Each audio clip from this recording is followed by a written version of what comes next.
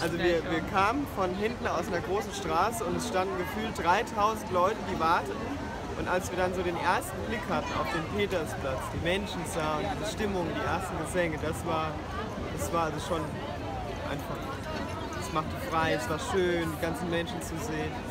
Und als man dann mal hier saß und ähm, ich fand vor allem die Predigt, das war was, was mich die letzten Tage auch in Verbindung mit Katharina Kasper schon beschäftigt hat. Und das hat einfach gepasst. Die Worte, die der Papst zu uns gerichtet hat, zu dem, ja, zu Katharina Kasper, zu der, die uns begleitet hat, mit der wir hier waren. Das fand ich einfach sehr ergreifend, dass das so harmoniert hat. Ja, für äh, mich war die sehr äh, emotional, weil dieser Ort verbinde ich damit, äh, wir waren mit meiner Mutter hier, zusammen mit meiner Schwester, die auch hier ist. Und jetzt nach zehn Jahren sind wir wieder an den Platz gekommen und die Heiligsprechung das war sehr schön. Ja, sehr beeindruckend, hochemotional und ähm, ja, bewegend.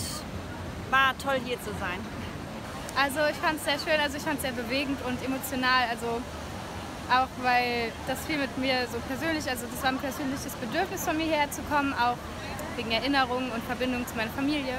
Und deswegen habe ich mich sehr gefreut, dass ich hier sein konnte und es hat mir auch sehr, sehr gefallen. Ich fand, es war eine wunderbare Feier, schlicht und ergreifend, würdig und das hat mir sehr viel Freude gemacht.